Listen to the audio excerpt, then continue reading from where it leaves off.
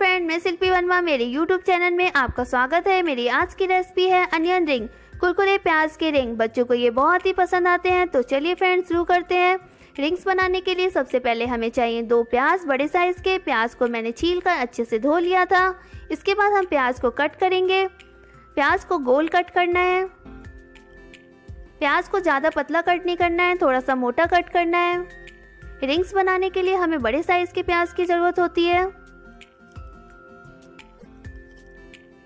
प्याज कट हो चुका है, इसके बाद हम रिंग्स को अलग करेंगे।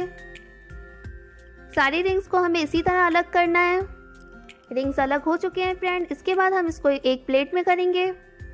इसके बाद मैं मैदे की कोटिंग करूँगी, थोड़ा सा मैदा डालूँगी। मैदे को अच्छे से मिलाना है। इससे होगा यह है कि इसके ऊपर अच्छे से कोटिंग हो जाएगी, जिससे ये और भी कुरकुरे हो जाएँगे। फ्रेश ब्रेड क्रम, दो कप, मैंने इसको घर पे बनाया है। आप चाहें तो रेडीमेड भी ले सकते हैं। इसके बाद मैं पेस्ट बनाऊँगी। पेस्ट बनाने के लिए एक कप मैदा।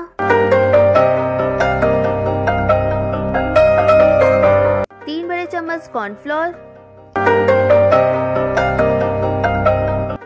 एक चम्मच कुटी हुई लाल मिर्च। आप चाहें तो पिसी हुई लाल मिर्च भी ले सकते हैं।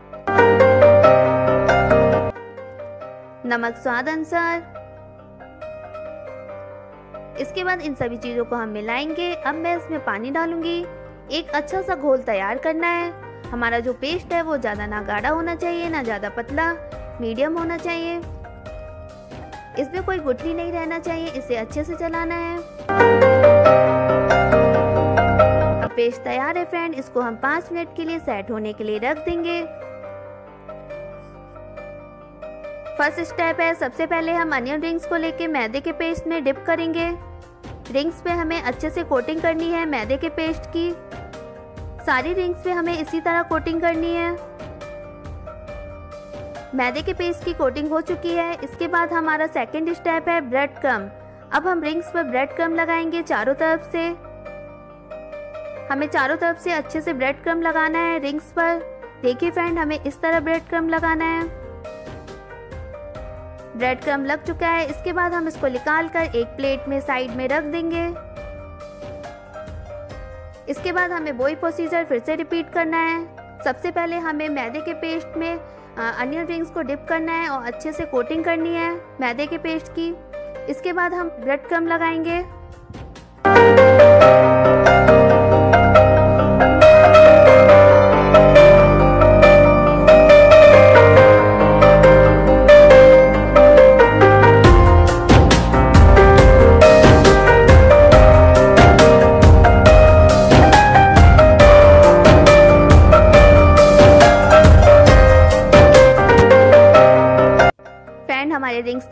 बनकर अब हम इनको डीप फ्राई करेंगे। डीप फ्राई करने के लिए मैंने तेल पहले से ही गर्म करके रखा है।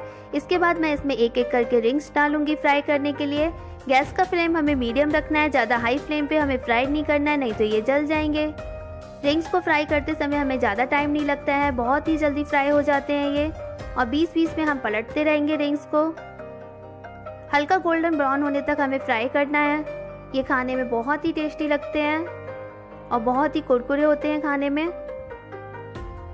आप इसको कभी भी बना सकते हैं। बहुत ही झटपट बन जाते हैं। बहुत ही इजी रेसिपी है। अब ये फ्राई हो चुके हैं। अब हम इसको प्लेट में निकालेंगे।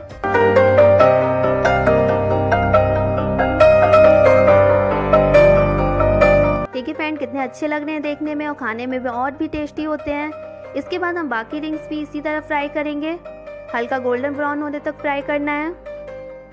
गैस का फ्लेम हमें मीडियम रखना है, ज़्यादा हाई नहीं रखना है। आप इसको किसी भी चटनी के साथ खा सकते हैं।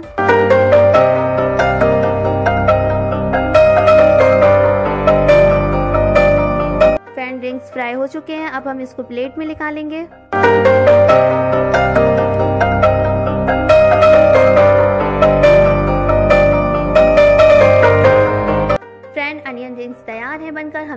करके ज़रूर बताएँ कि आपको मेरी वीडियो कैसी लगी। वीडियो अच्छी लगी तो मेरी वीडियो को लाइक करें, शेयर करें और मेरे चैनल को सब्सक्राइब करना ना भूलें और बेल आइकन ज़रूर दबाएँ, जिससे मेरी लेटेस्ट वीडियो सबसे पहले आप तक पहुँच जाए।